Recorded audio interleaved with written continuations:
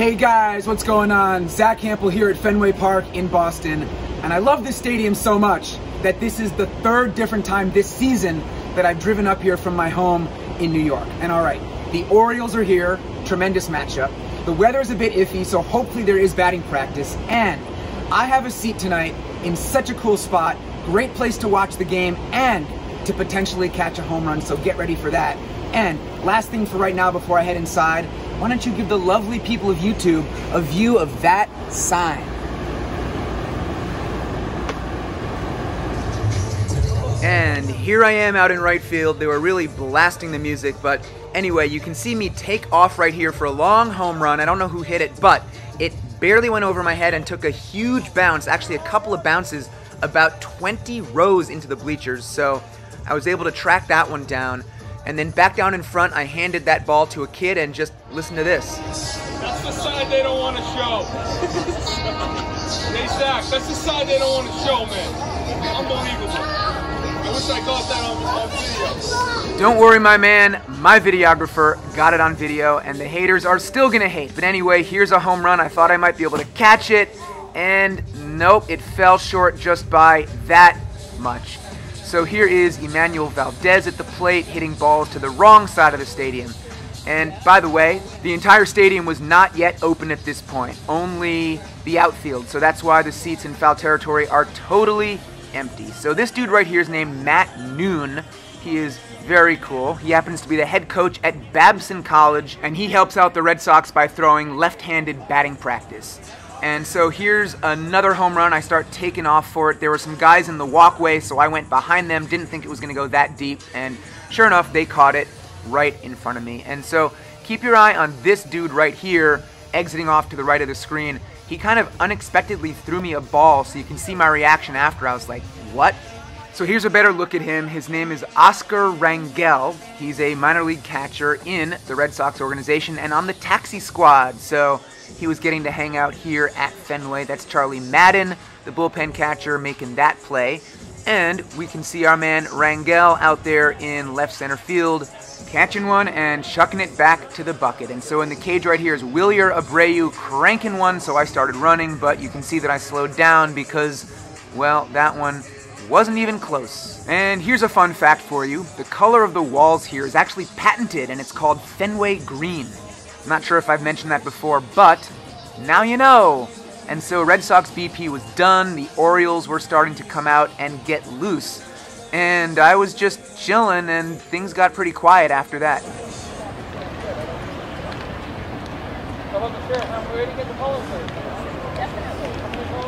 Don't take a hot shower.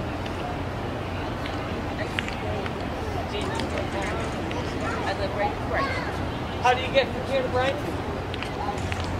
Mr. Ben Carhart! How we doing? Yogi!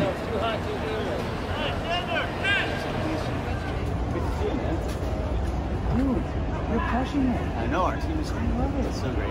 Also, I have a surprise for you. Not with me right now though. I have a Felix ball for you. Oh my God! I got my hands on it. Holy crap. So, there was a retirement ceremony, or I guess they inducted Felix, Into right, the into the Mariners Mariners Hall of Fame Yep. At T-Mobile. Was that a few weeks ago, right? Yes, uh, two and a half, three weeks ago. Yeah, I, I wasn't able to make it, but this guy is the man. And I texted him and I was like, bro, they're using these balls for one game only. Yeah. If there is any way that you can get one. Yeah, that was a really cool night. So Ben is the guy that hooked me up with one of those Lou Gehrig baseballs, which are truly impossible to get because they weren't even used in games. Yeah. They were just made as like ceremonial first pitch balls with the big logo. Yeah, and they came to a few of the people that showed up. Yeah. Incredible. So the real MVP right here. No way. you know, you might think it's, you know, Adley or Gunnar or one of those guys, oh but real MVP of the Orioles right here. Ben Carhart, everybody. Oh, want to see what we bring to our bullpen now? Yes. We got a Felix Bautista bobblehead. Oh, that travels with you guys? Travels with us ever since he went on the intercourse. Mr. Ben Carhart, great chatting. Zack, it's always a pleasure, my friend. All right, may the baseballs be flying today. Yes, flying right to your mitt. Thank you, sir. Ah, yes. They get to come in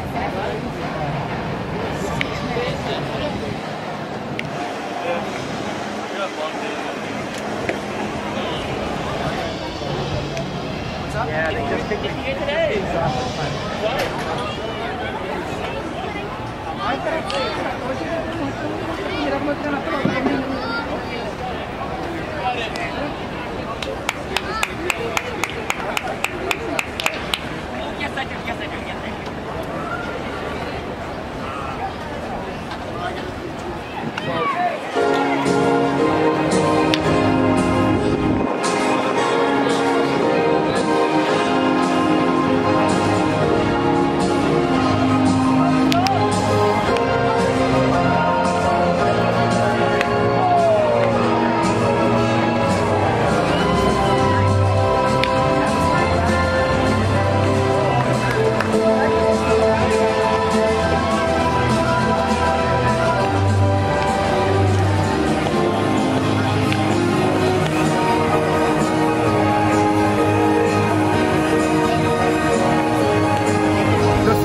group Orioles BP is in the books. I got a couple more baseballs. So the numbers are creeping up little by little. Four total. And then the Orioles have a bunch of guys who can crush the ball. That's part of why I wanted to be here to see the Orioles because I feel like there are going to be lots of home runs, not just during BP, but hopefully during the game. So I'm not even sure who's in the second group, but I got to turn my attention back to the field.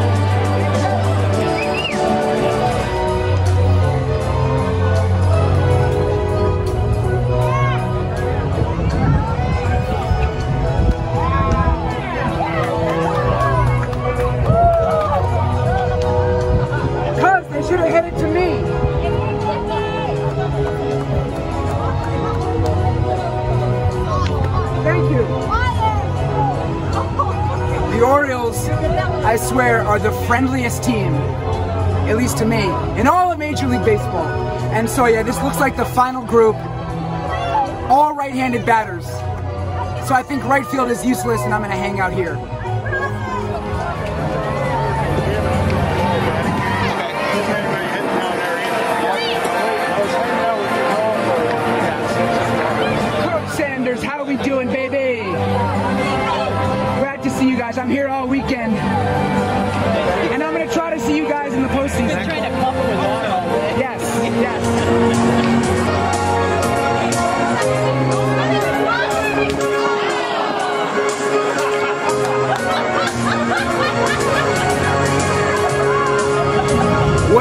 Well, center field turned out to be a good choice, but I was kind of stupid once I got there, unfortunately, and I got distracted and I was begging for a toss up on the warning track and missed the one home run that landed right near me in an empty row. So, yeah, that was pretty unfortunate. Would have liked to catch some home runs out there, but listen, I still did all right today. Six total baseballs, so I don't think double digits is going to happen for my second consecutive game, but I'll definitely take it. And for right now, I'm actually going to get up onto the Green Monster. No, that's not where I'm sitting for the game, but just hanging out with a friend who has access there. So, going to wander a bit and then settle into my seat back in this area for the game itself.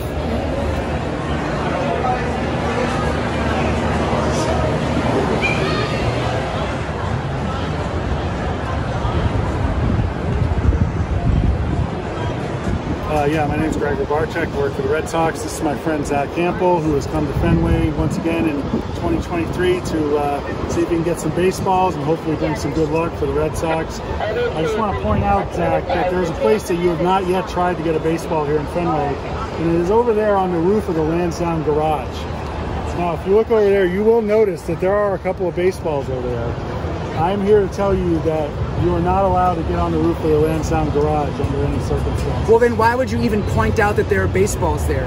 That's like holding meat over a crocodile's mouth and being like, you can't have this. That's exactly right. So am I getting the right reaction out of you? There is a Yeah. baseball that Zack Hample cannot reach. yes, it's true. I'm being trolled by the front office. Mic, mic drop. That's it. Boom. Done.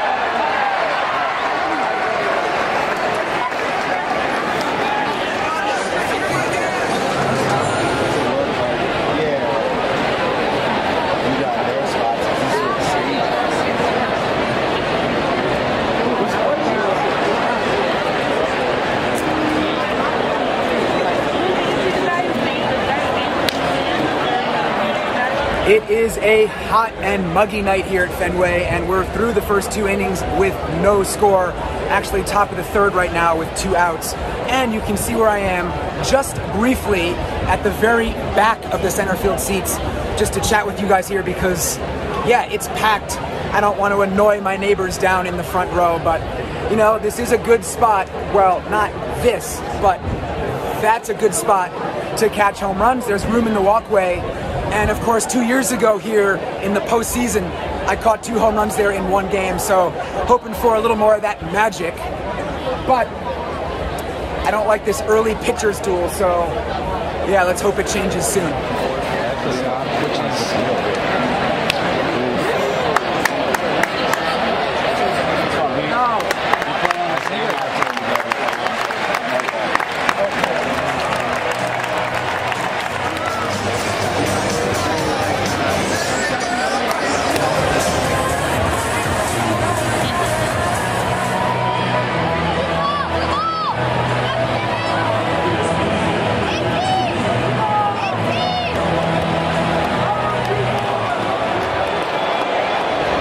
Well, that was a blast right there to right field. Ryan O'Hearn, a solo shot, actually pretty close to where I'm going to be sitting tomorrow.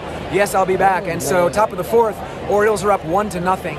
And if you hear me having a conversation at all in some of the clips in this video, well, it's with these fine folks right here, my seatmates. They're very cool. And yeah, good hanging with you guys. This is your second game ever at Fenway, and your first. We're doing it up. So where's the beer? It's gone. It's gone. He he says he's going to be too drunk to catch home runs by the middle innings, and we're pretty much there right now.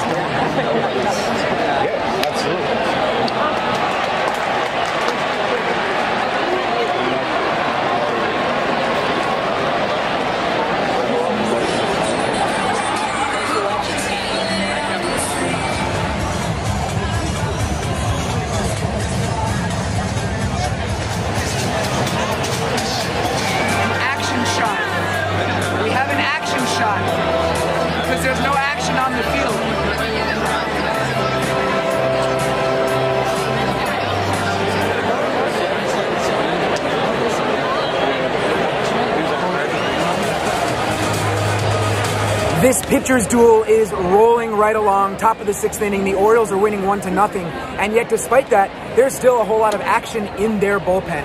And by the way, Grady here was asking me when they cut off beer sales, and I was like, I don't know. I, I guess after, yeah, drink up after like two hours or so. So, I mean, you should probably get on that and get another one.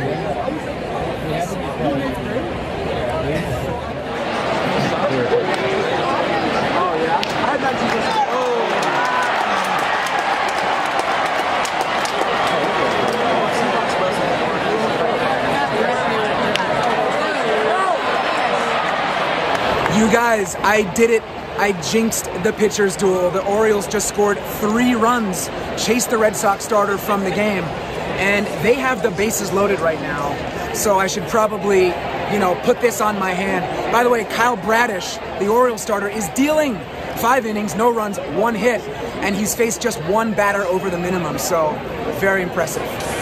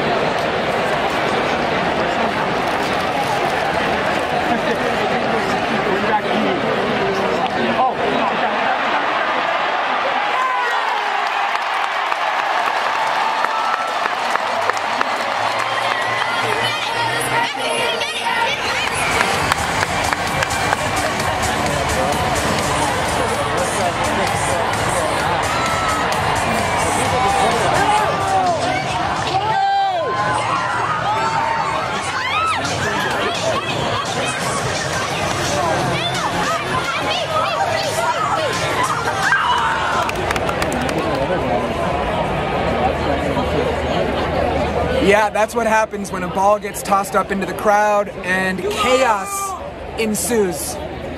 That's like that's like four dollars worth of beer right there. Seven. Seven? Yeah. Uh, so top eight right now. O's are up five to two. So not a whole lot of ball game remaining.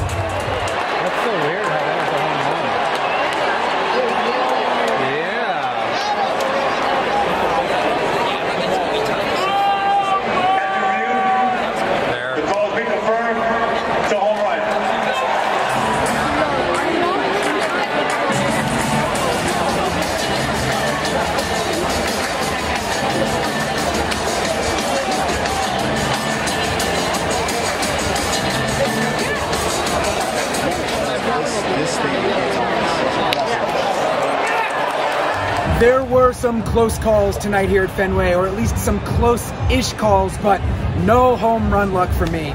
That one was a triple by Gunnar Henderson, who then scored on a wild pitch to give the Orioles a five-run lead. And the Red Sox were very much out of this game, but you'd never know it based on the energy from the crowd during Sweet Caroline. And okay, you want to see something amazing?